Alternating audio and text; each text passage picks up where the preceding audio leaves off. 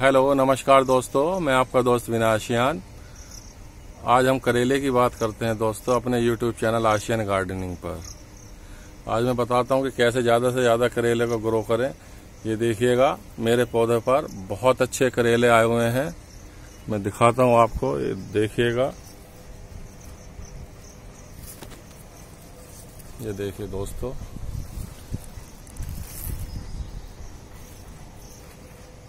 ये मैंने बेल फरवरी में लगाई थी और इस टाइम इस पर बहुत अच्छा फल आया हुआ है। डेढ़ महीने के अंदर अंदर। ये देखिएगा दोस्तों।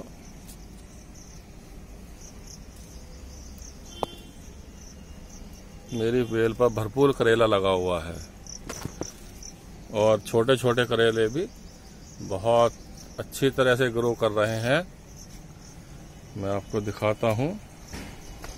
ये देखिए दोस्तों आप इन्हें मिट्टी मर पोट में कहीं पर भी आप इन्हें बहुत अच्छी तरह से ग्रो कर सकते हैं। तो चलो सर मैं आपको दिखाता हूँ कि बीज को कैसे लगाएँ।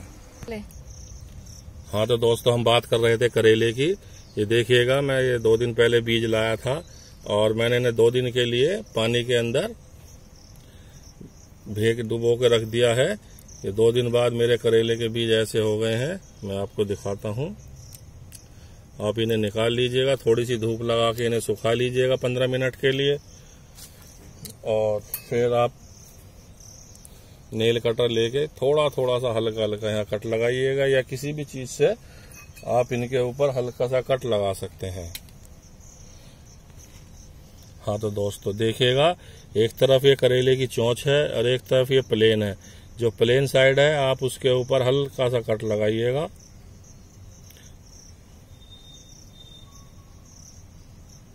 ये देखिएगा, हल्का हल्का सा चमकने लगा है, सफ़ेद पार्ट ये देखिएगा, इसी तरह से आप सारे बीजों को कट कर लीजिएगा। ये देखिएगा दोस्तों। और उसके बाद इन्हें गमले में लगाना चाहे, गमले में, मट्टी में लगाना चाहे, मट्टी में एक एक इंची तक आप इन्हें दाब दीजिएगा।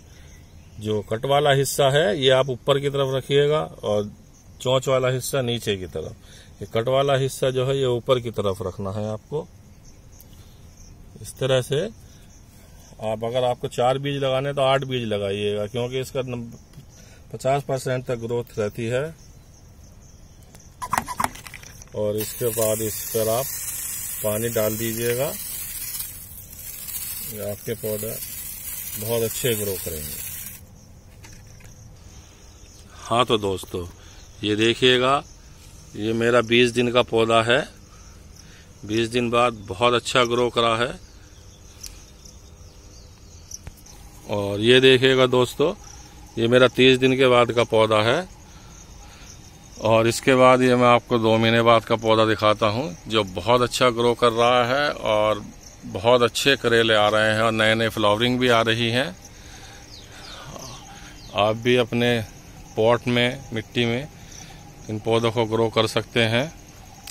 यदि आप इसे पॉट में ग्रो करना चाहते हैं तो आप 12 से 10 10 से 12 इंची का पॉट लीजिएगा। उससे छोटा पॉट नहीं लीजिएगा, क्योंकि एक बेलदार पौधा है, जो बेल की तरह बढ़ता है। और अब हम बात करते हैं इसमें पानी की। आप पंद्रह दिन बाद, दस दिन बाद, दस से पंद्रह दिन बाद आप इसमें पानी दे सकते हैं। मट्टी को भुरभुरी रखिएगा। और अगर आप फर्टिलाइज़र की बात करेंगे तो इसमें आप सिर्फ़ गोबर की खाद का इस्तेमाल कीजिएगा। कोई केमिकल कोई किसी तरह की केमिकल का इस्तेमाल ना करें, जो सेहत को नुकसान करे। तो इससे आपके पौधे बहुत अच्छे ग्रो करेंगे।